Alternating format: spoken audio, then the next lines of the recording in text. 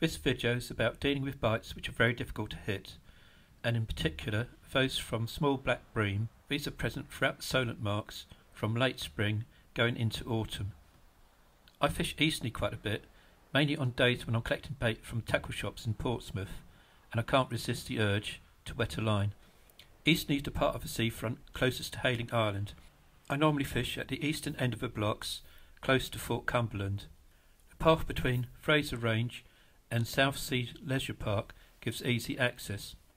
Directly in front of Fraser Range is the naturists area, so I tend to avoid this part. I generally only fish a couple of hours over high water using free hook flapper rigs or my clip down short snood bream rigs.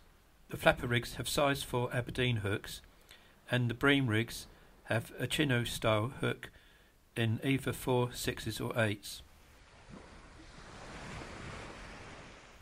During daytime sessions with clear water, you're targeting black bream, schoolie bass, and the odd chance of getting red mullet and gurnards.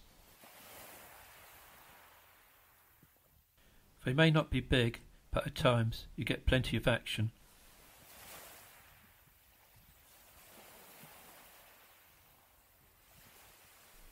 It's interesting fishing, which keeps you alert.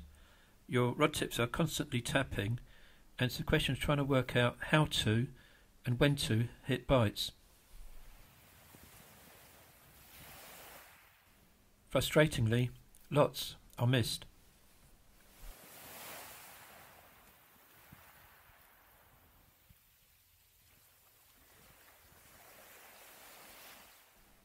Black bream are notorious for nibbling or pecking at the bait, and quite often it's very difficult to hit any bites at all.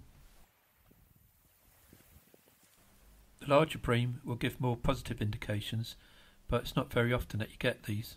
So you're left with trying to figure out how to hit the smaller bites. Leaving them to develop doesn't work. They'll just keep pecking until they strip the bait off your hooks. When fishing for black bream, I keep my rod tips high trying to keep as much line out of the water as possible, keeping a very tight line, using braid, and I try to strike at the majority of bites. When I miss a bite, I don't reel in, but leave the fish another chance to have a go at the bait. Occasionally, when you drag the bait, the fish will take more positively, but at other times, uh, no matter what you try, you just don't seem to be able to hit the bites at all. Standing up and being ready to pounce when you get a bite occasionally works. Quite often, though, the bites just seem far too fast to hit, and you're sort of questioning your own ability and thinking that you're doing something completely wrong. After several missed bites on the same rod, you do need to put it in and check your bait uh, and make sure that when you do rebait, you're not leaving too much hanging over the um, the bend of the hook, um, and certainly making sure you're not masking the hook at all. Using ragworm tipped with squid, the smaller fish will quite often take all your ragworm. Squid is a bit tougher, so stays on the hook a little bit longer, but um, they still keep pecking at it until it disappears. Using short snoods, you see all of your bites and have a chance to react. Although long snoods work well with schoolie bass, that's not the case with black bream. Most of my bites here in this session have been to the short snood rig. It's not to say that the long snood rig isn't working, it's just that you're not seeing a large proportion of your bites.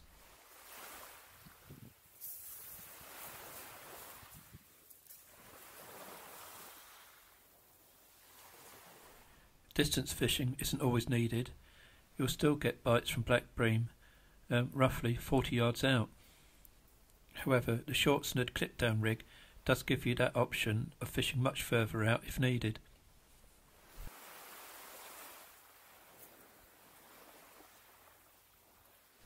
I do quite a bit of bream fishing on Hayling Island and Milford Shingle Bank, and although quite frustrating, there are days when you do seem to hit quite a lot of your bites.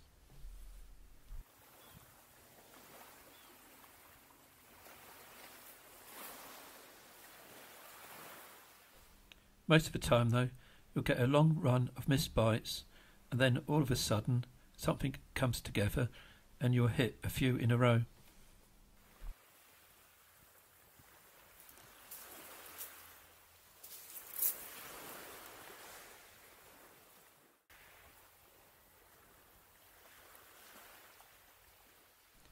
Double shots and even triple shots are not that uncommon.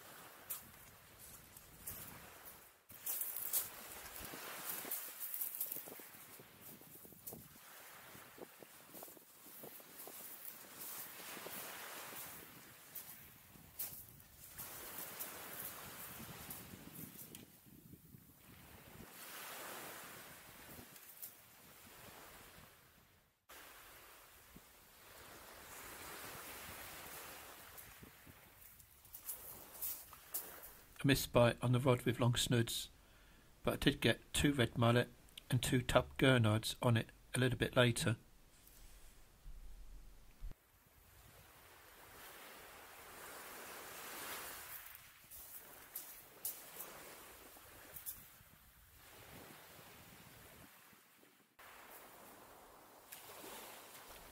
Five out of the six bream I did catch in this session, however, fell to the short snood rig.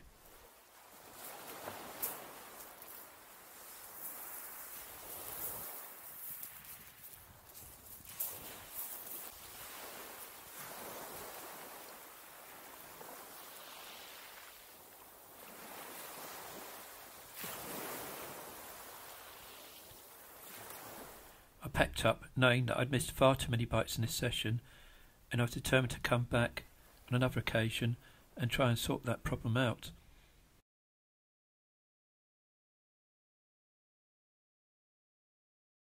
So when I came back a month later, I was armed with rigs, which are far more refined and really work well at Hayling. These have short tube booms, 10 pound hook lengths, uh, and hooks which range from size 6 to size 12. Some have metal spring-like tubes, but majority have plastic. They're all made up with three or four hook lengths, but uh, a couple of them are made up as Wessex rigs. The pot snood on these has slightly stronger line and either size 4 or size 2 hook for fishing with crab. On this occasion, though, I'm choosing one of the more conventional rigs for fishing small bits of ragworm and squid, just targeting small bream.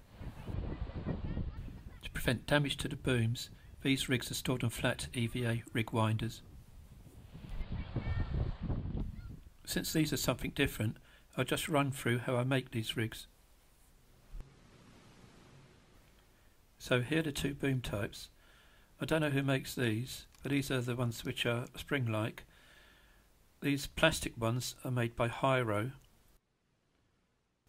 The orange bit on the end has holes for your rig line to pass through.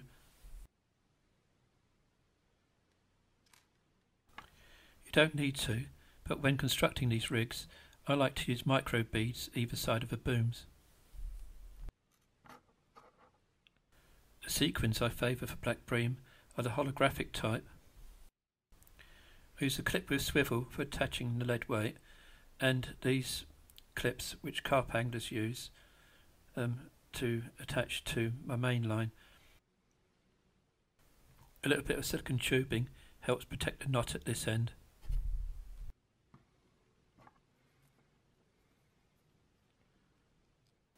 These rigs need to be light, so my main rig line is 26 pound Stren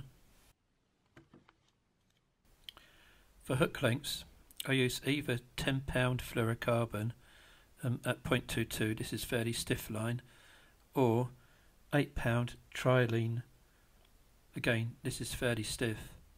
A hook tie is needed since the hooks used are lightweight spade end versions. I favour these silver Teklon hooks, but there's a variety of hooks which I'll use um, since I can't get hold of these anymore. Um, different patterns, as long as they are small, um, somewhere between a 6 and a 12. A size 6 in one pattern isn't necessarily a size 6 in another. I start by preparing the hook lengths. The two lower snuds will have standard size 6 hooks and the top snud will have a smaller version.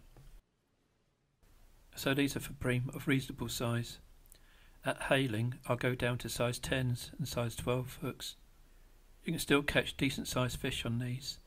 You just have to be a little bit careful when playing them. And I have had undulates to over £10 on size 12 hooks. At this stage, I'd normally use saliva to wet the knot when pulling it tight. My hook lengths for these rigs are normally measured to be either 25 or 30 centimetres in length.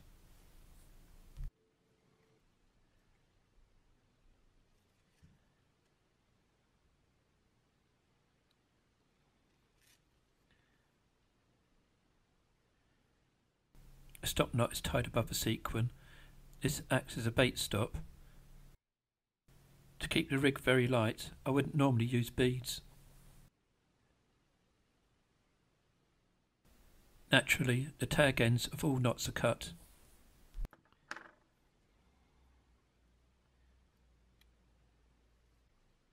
A hook length is then threaded up the plastic tube boom.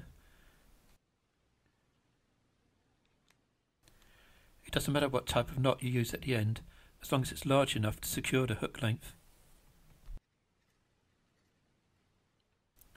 I then like to use slightly thicker line for a stop knot at the other end of the tube.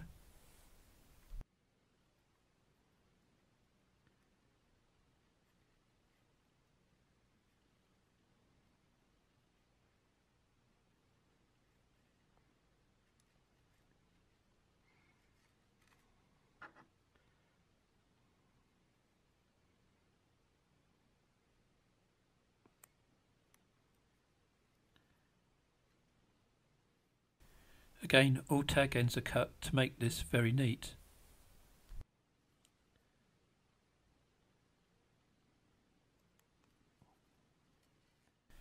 The three hook lengths of snuds are now ready to be assembled onto the main rig line.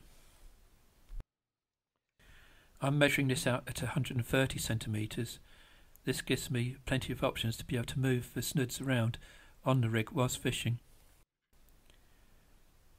I first tie on the lead clip, and someone very kindly pointed out to me that this is a grinner knot that I use, and it's just a question of threading on the components in sequence.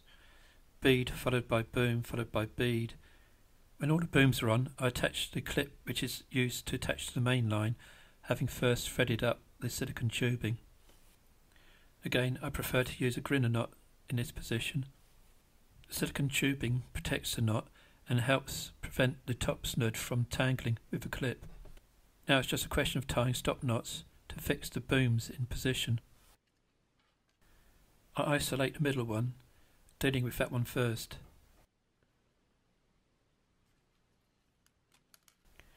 This will be positioned in the middle of the rig. The other two booms will be equally spaced either side of it, between the middle boom and the two clips. These, of course, will just be starting positions and positions for storing the rig. Um, when actually fishing, though, I'll be moving these around depending on what happens. So it's important to use stop knots and not crimps. Of course, you can use power gum, but I mean, I just prefer to use the same line as I use for my rig body. It is fiddly and time consuming, but it keeps the rig very light and very flexible. I do like these flat rig winders for storage. They take up far less space than the circular ones, And of course, with these plastic booms, um, circular ones would be no good. You don't want the plastic bending out of shape or breaking. The slots make it very easy for winding line on and keeping it all neat. And at a push, you could probably get two rigs on the same winder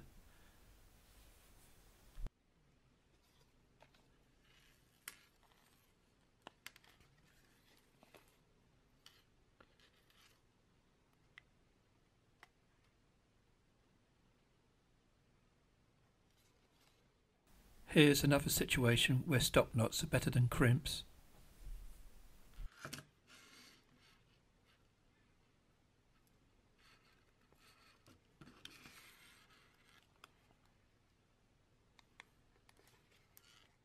A mat pin is used to keep the top clip in place. The rig clip is just pushed underneath the rig line. A very neat and compact way of storing these rigs. So back to the fishing. With these rigs, I like to use either pyramid leads or these star leads. This isn't the rig I've just made, but a well used one, so it's not in pristine condition.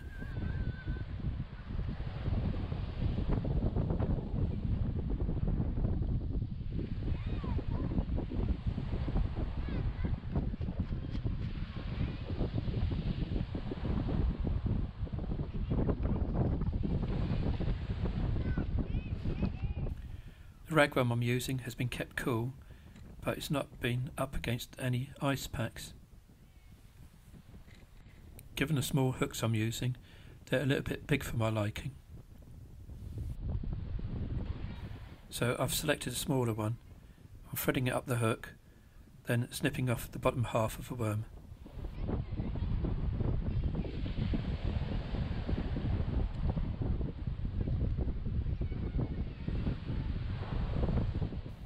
Sliver of squid, which has already been cut, is then used to tip off.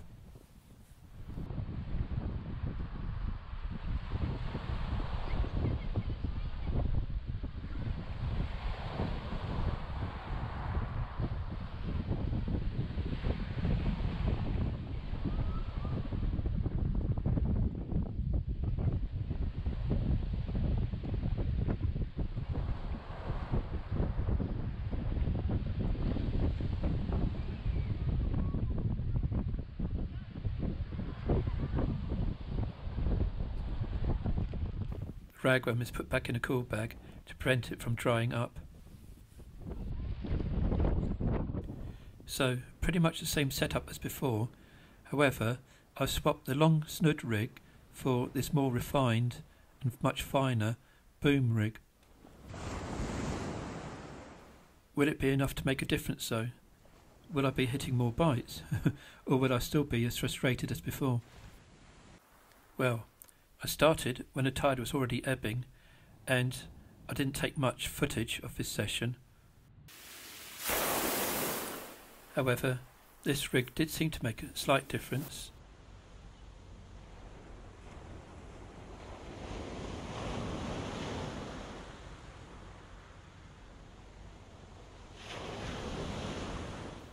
I did seem to get a lot more bites, and proportionally I seemed to hit a lot more than before.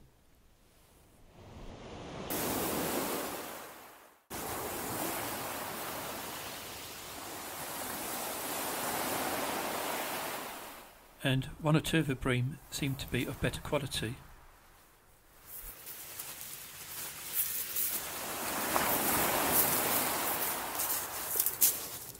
I ended up with nine bream in total, and another one of my tricks seemed to work well today, um, and that's using double tentacle on the top snood. That's on both rigs.